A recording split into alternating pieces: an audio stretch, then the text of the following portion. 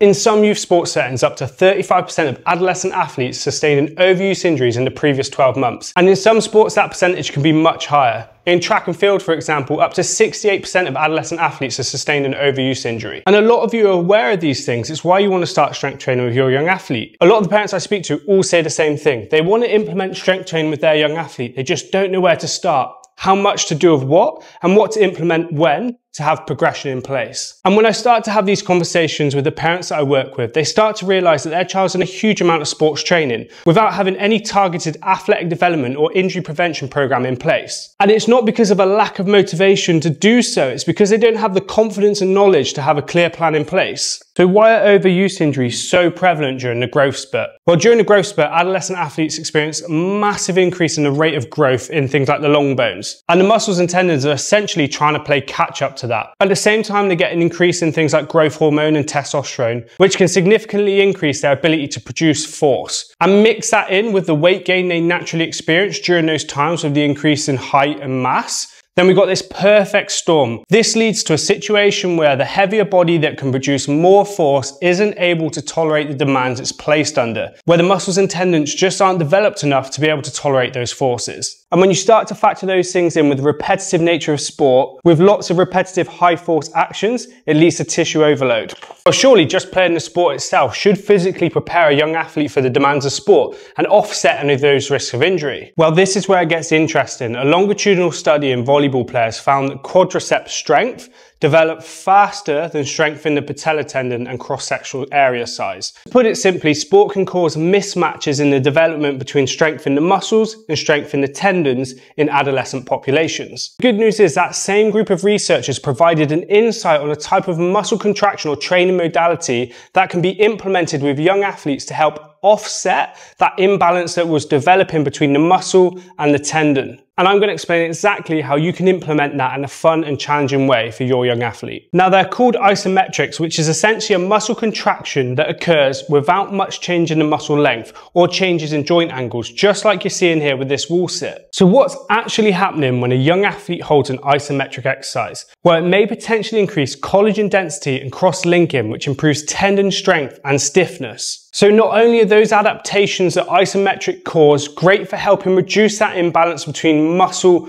strength and tendon strength that we see often developing in adolescence during sport, but stiffer tendons are so much more efficient at force transfer. Stiffer tendons are better at recoil. So they're much better at helping a young athlete jump further, jump higher. And the reason it's so important to implement things like isometrics is it typically takes longer for tendons to develop. And with stiffer tendons, a young athlete improves their running economy and accumulates less fatigue because their tendons become better at returning energy. And just a quick side note, stiffer tendons doesn't mean stiff and not being able to move. Stiffer tendons refers to their ability to transfer force effectively. Now, one thing I do want to make really, really clear before I show you some practical examples how you can integrate isometrics into your training with challenges and progressions for your young athlete is that isometrics shouldn't replace all other training. They're just a piece of the puzzle that's really, really beneficial for your young athlete. So they should be incorporated into an integrated program that incorporates muscle contractions that have movement as well. We shouldn't just focus on isometrics to make that clear. But isometrics are a small piece in that puzzle that really, really help with tendon development. The three sites that we see lots of overuse injuries occurring are the heel, the knee and the elbow. So the heel, for example, is used in lots of jumping and landing, decelerating and sprinting. It's very common in sports like volleyball, basketball, football, anything that has lots of sprinting and locomotor demands or jumping demands. Then also the knee, very similar. The knee is also one that is involved in lots of jumping, decelerating and sprinting, lots of sports with high locomotor demands, lots of change of directions and decelerations. And then for the elbow, we see that in sports that use throwing or racket sports. So sports like baseball or tennis or cricket or squash or badminton all have a lot of volume and repetitive actions going through the elbow joint. Here's a few challenges you could use to get your child engaged in a process of strength training that incorporate isometrics that are going to strengthen the lower body and specifically the patella tendon. This one's great for any young athletes that are doing lots of jumping, change of direction, re-acceleration, all those different things. So the challenge here could be while balancing a tennis ball on a block, They have to go down into the squat position, hold that squat position, and keep the tennis ball balanced for a certain amount of time.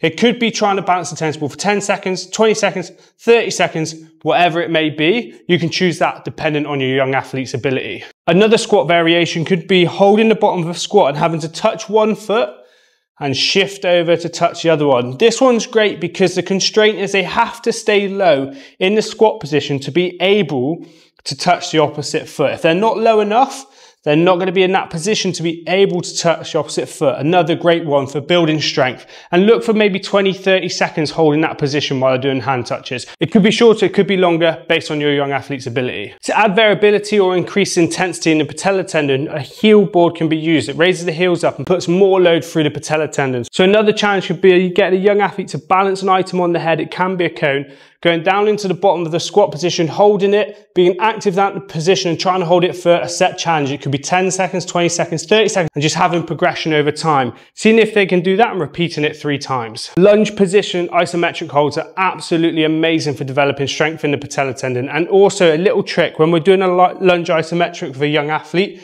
if they're displaying good levels of balance and stability, you can also target the Achilles tendon for protecting the ankle joint from overuse injuries in terms of the Achilles and the heel by doing it on a raised platform. So putting the forefoot on the block and going raise. That way we can target the patella tendon and the Achilles tendon at the same time with an isometric. So any of these variations could be done with a block, but if your young athlete has low levels of stability, don't worry about the block, just stick with the lunge isometrics. This first isometric lunge position challenge is gonna allow them to work to their true capacity. So the challenge is put a cone on the floor and you're gonna time your young athlete. What they have to do is put their knee on the floor or the cone without crushing the cone and see how long they can hold this lunge isometric position for. And then they've got to try beat it. And then obviously after they've had some some good rest. You can switch sides, hold in that position, hold in the bottom of a lunge position. If they crush the cone, that's when the time stops. Or if they stand up and keep coming up from that position, that's when the time stops. Another lunge isometric challenge could be getting a young athlete to hold the bottom of a lunge position, knee off the ground,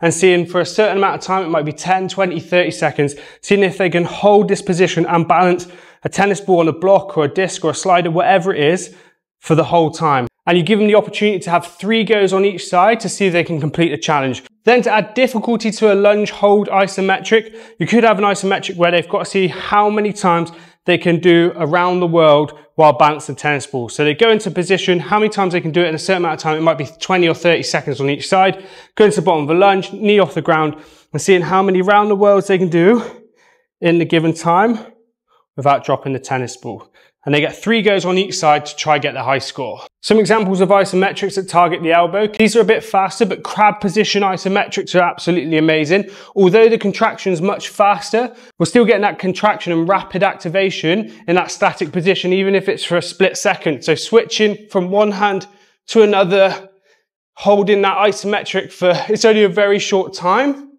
but it's still a static contraction. If we want to then actually lengthen out the duration of that, we could go into challenges where we're holding a position, a crab, and trying to throw how many can a young athlete get holding that position. Now variations in front support positions also target the elbow isometrically. So holding the static position and seeing how many bounce catches they can do in a given time. It could be 10, 20 or 30 seconds. Targets the elbow isometrically, switching side seeing how many they can get in 10, 20 or 30 seconds. And they could do two to three sets on this exercise to have the opportunity to try get a high score. So they're constantly trying to work to beat their high score, bit of coordination demand, but also really specifically targeting that physical quality. So isometric training is a simple, safe and scientifically proven way to reduce risk of injury in youth sports. And the positive byproduct is it is really beneficial in improving athletic performance. So if you want to help your young athletes stay injury free, improve their performance, isometrics are a great simple way to start.